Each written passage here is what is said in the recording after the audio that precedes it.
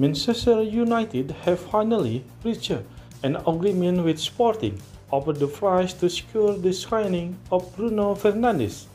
In Portugal, records have reported that the Red Devils have agreed a fee worth 80 million euros and beating of competition from Spanish champion Barcelona to lure the Seleccao star.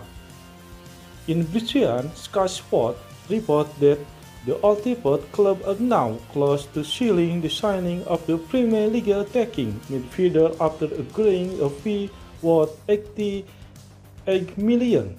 It is mentioned that the player medical with Manchester United could Heaven today.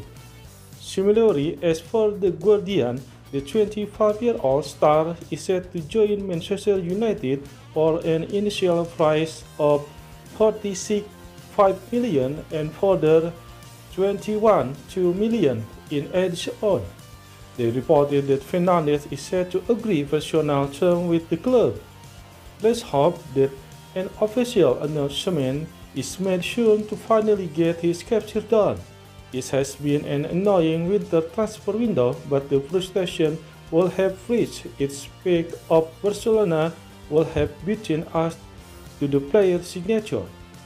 We have to face Manchester City tonight and Wolverhampton Wanderers in Premier League on Saturday.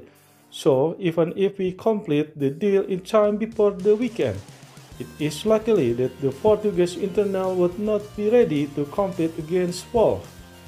In such a scenario, we can expect Fernando to make his debut for Manchester United when they face Chelsea at Stamford Bridge on the 18th February.